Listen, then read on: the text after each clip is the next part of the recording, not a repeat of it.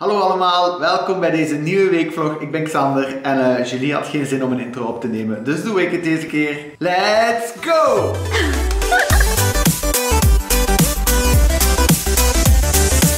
Ik ben net terug thuis van een leuke wandeling met Elisabeth.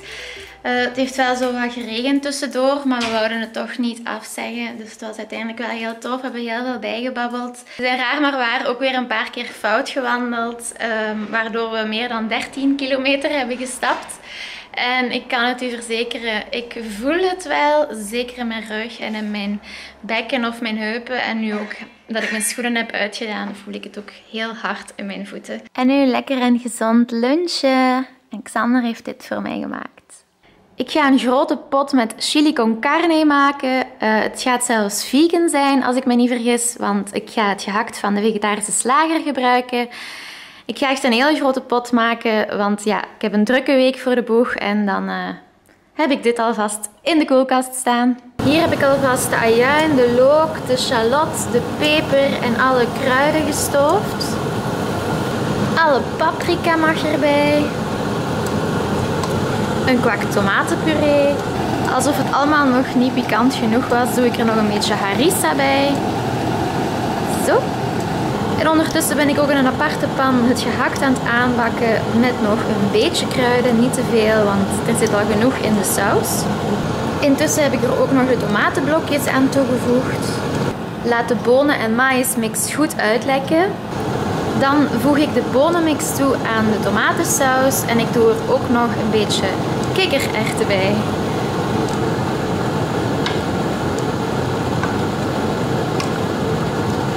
En als laatste stap van de chili saus doe ik er het gehakt bij.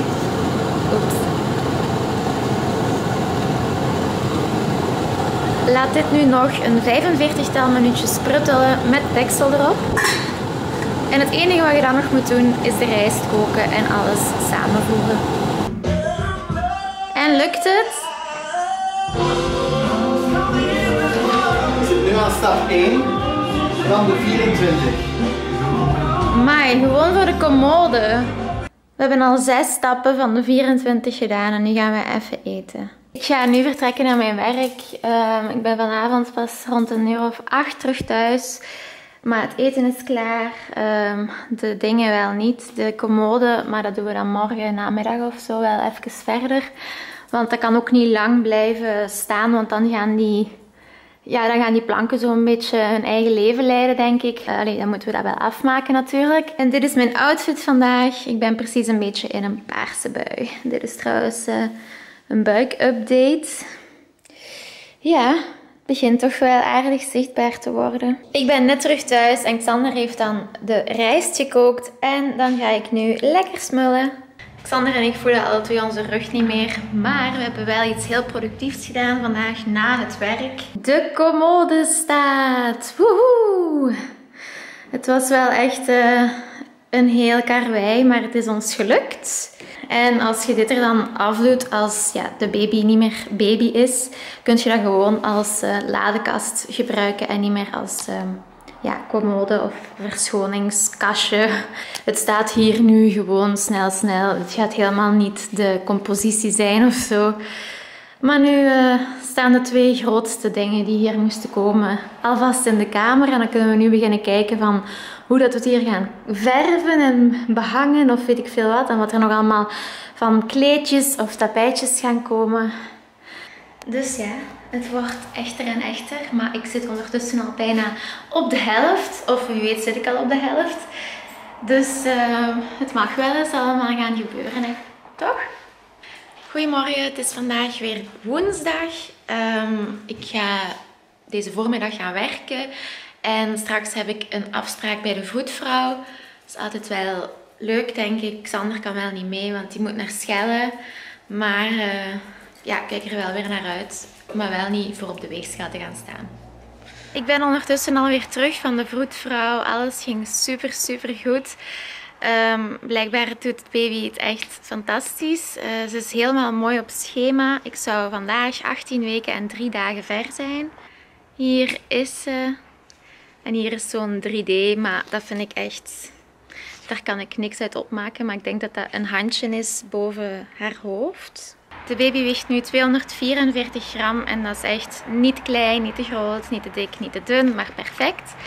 Dus um, ja, alleen maar positief. Uh, haar hartslag was 147 beats per minuut. beats, uh, slagen. En ze was heel erg beweeglijk en was de hele tijd aan het ronddansen en zo. Er was trouwens ook een stagiaire bij en die heeft dan ook even...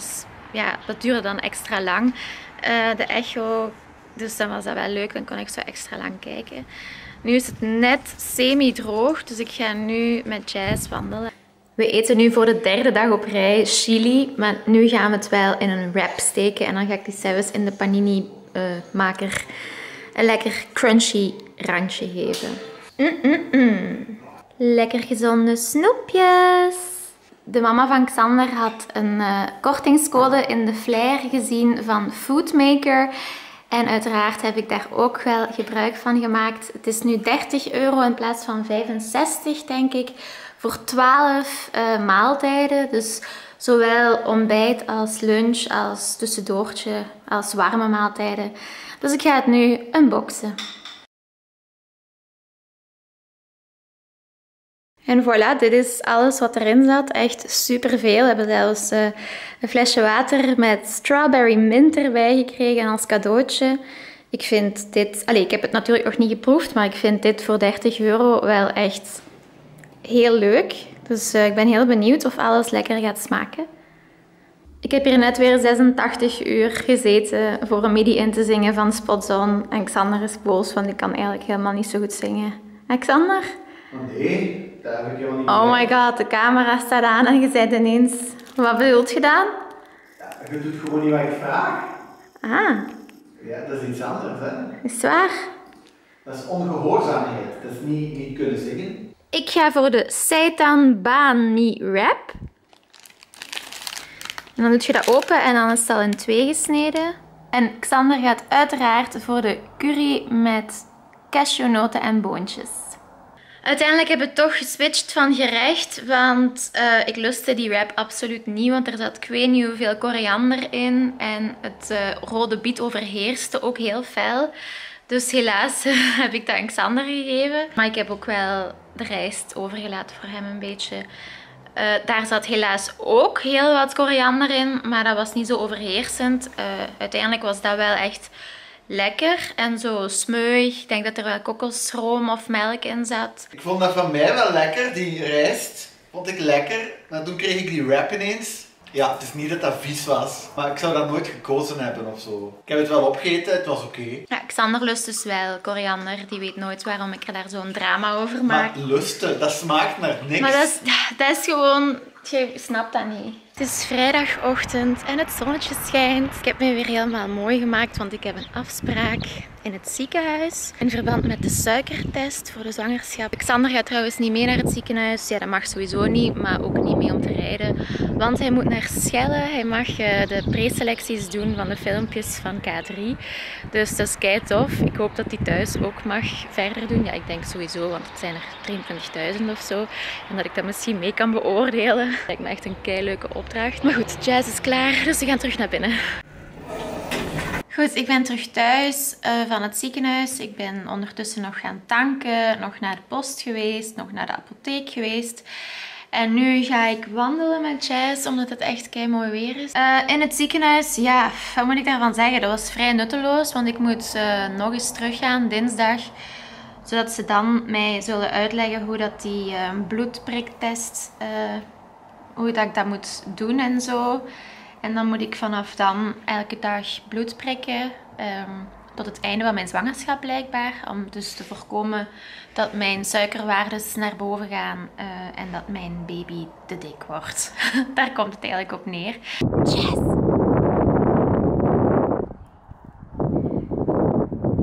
Love the!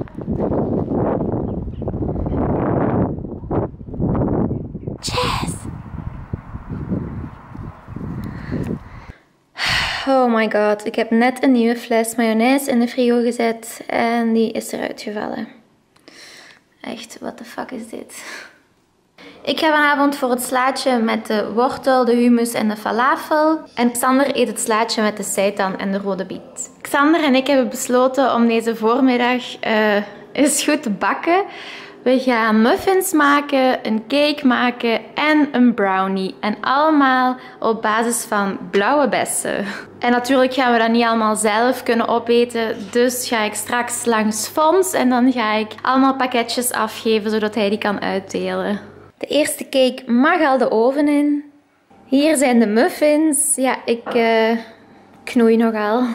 En hier dan de laatste creatie, onze brownie. We hebben drie dingen gemaakt. We hebben hier een uh, blueberry cake gemaakt met um, ricotta. Hier hebben we uh, brownie gemaakt, ook met blueberry, met noten, met chocolade, met banaan en met uh, honing. Dus geen suiker in. En dit zijn dan muffins, ook met blueberry en met witte chocolade. En nu ga ik wandelen met Jasmin en Karen. En daarna heb ik nog een zangavond met Karen op het werk. Dus heel tof. Um, het is super mooi weer, dus ik ben echt heel blij dat we vandaag gaan. En dit ga ik allemaal meenemen en afgeven bij Fons, vlak voor ik ga werken. En dan kan die iedereen daarmee gaan verrassen thuis. We zijn dus aan het wandelen hier met uh, vriendinnetjes. Hier is Karen, die kennen jullie al. dit is Jasmin. Oh, Moeten we nu terug over de brug? Is dit dan of zo? Denk het. Oké. Ik heb geen idee. Maar we zitten in Lommel. Hey! Yay! Lukt het? Goedemorgen, het is vandaag zondagochtend en ik ben heel trots dat ik de week heb getrotseerd. De komende dagen is het nog even druk, maar daarna valt het allemaal terug wel in zijn plooi. Dus ik kijk er wel even naar uit, want ik ben wel echt heel moe. Ik moet nu wel vertrekken naar mijn werk, maar dat komt helemaal goed, want ik sta met Nick op en dat is al super lang geleden, dus ik ben heel blij dat ik hem terug ga zien. Maar ik ga alvast bij deze de vlog afsluiten. Ik hoop dat jullie het leuk vonden. Bedankt om te kijken en ik zie jullie graag volgende week weer. Salut!